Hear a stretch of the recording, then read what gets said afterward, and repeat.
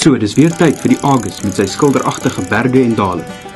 Maar terwyl ons aan hierdie grafika van die roete gewerk het, het ons begin wonder hoe die wendtye oor die jare verskil. So, ons het bietjie op Wikipedia gaan rondkrap, terug tot in 1978, toe die wendtyd 3 ure, 2 minute en 25 sekondes was.